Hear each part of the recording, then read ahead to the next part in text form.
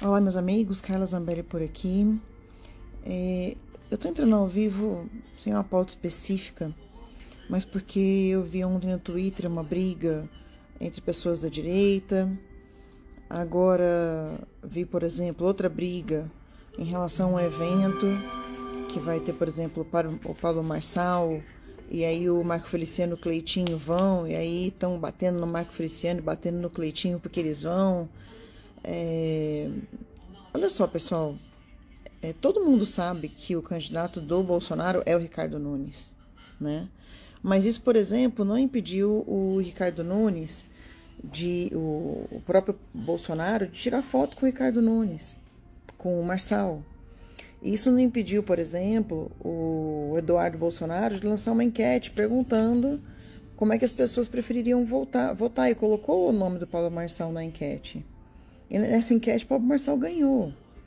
Todo mundo sabe que a gente está com o Ricardo Nunes, porque o, o, o, vice do Ricardo Nunes é do PL, né? E o Ricardo finalmente aceitou o nome do Coronel Melo.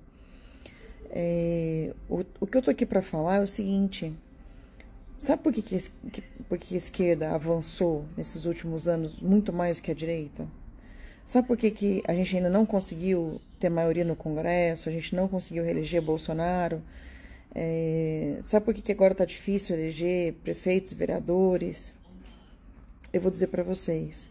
É porque a direita se digladia em público.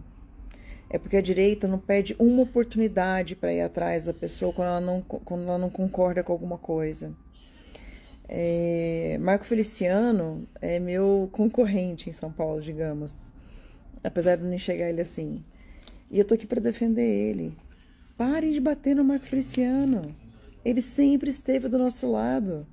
Aliás, foi Marco Feliciano o primeiro que deu palco para o Bolsonaro, quando era presidente da Comissão de Direitos Humanos.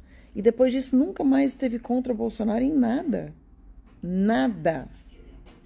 Para de bater no Cleitinho. Gente, lá atrás o Cleitinho deu um chute num negócio do Bolsonaro e hoje ele volta a Bolsonaro. Para de, para de afastar, parem de afastar as pessoas que eventualmente podem estar do nosso lado para alguma missão importante. É, se você não concorda, por exemplo, com Kim Kataguiri, porque ele vai sair candidato a prefeito também, o MBL, aquele é, Rubinho Nunes, Rubinho não, Rubinho Nunes saiu né, do MBL. Tinha gente que falava mal do, do, do Fernando Holliday, hoje está no PL.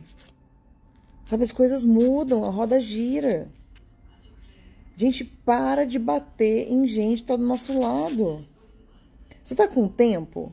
Tá com tempo para poder bater em alguém? Vai lá embaixo no bolos.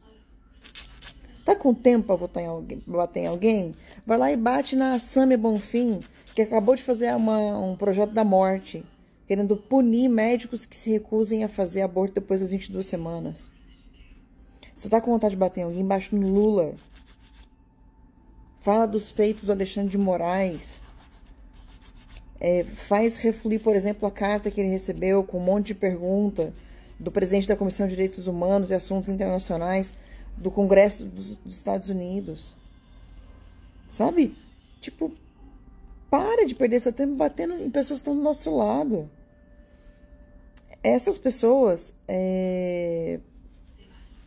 essas pessoas que vocês estão batendo são pessoas que sempre estiveram do nosso lado, o, o, o, principalmente o Marco Feliciano. Eu vi gente batendo no Marco Feliciano, eu falei, meu Deus, esse cara foi cara, um dos caras que me despertou para a direita. Estão batendo nele? Sabe, porque ele tá numa. Porque ele tá numa, num evento com o Pablo Marçal. Vamos lá, o, o, o, o Bolsonaro fez, fez vídeo com o Pablo Marçal. Sabe, o Gayer fez, o Eduardo fez, eu fiz. Parabenizando ele sobre o que ele fez no Rio Grande do Sul. E quem sai votar para prefeito agora é uma outra história. Só que quanto mais gente vier para poder bater no bolos, melhor. Porque eu vou dizer uma coisa. Mesmo você que não mora em São Paulo capital, se o Boulos ganhar para prefeito em São Paulo, qualquer pessoa que more fora de São Paulo, no Brasil, está lascada, porque ele vai usar os recursos de São Paulo para botar fogo no país. Então, assim, pô, sério, para de bater em gente da direita. E para de seguir em quem bate gente da direita também. Ou não, porque aí eu tô sendo tô sendo hipócrita. Vai lá e fala pra pessoa a mesma coisa que eu tô falando. Poxa, para de bater em gente da direita. E tem gente que pode não estar tá com a gente ontem, mas está com a gente hoje. O Kim Kataguiri é um, é um dele. É um deles. E vou te falar, hein? Kim Kataguiri, na época do impeachment, ele foi terrível comigo.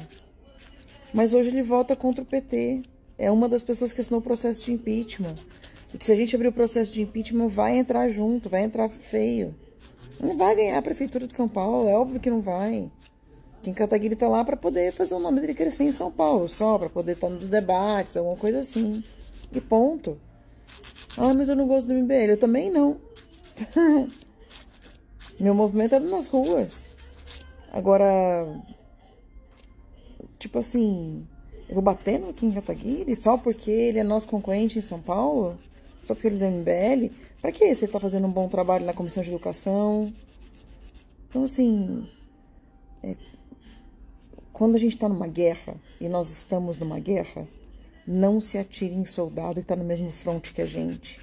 Não se atira para o lado, se atira para frente. E lá na frente está o Boulos, está o Lula e tantas outras pessoas que a gente tem para poder bater.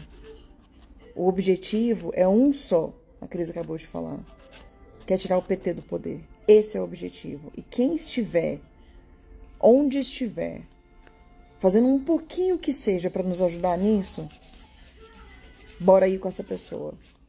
Não precisa dar a mão, abraçar, dizer que ama. É só não bater. É só deixar quieto. E deixar a pessoa fazendo o trabalho dela. Tá bom? Um grande beijo para vocês. Fiquem com Deus.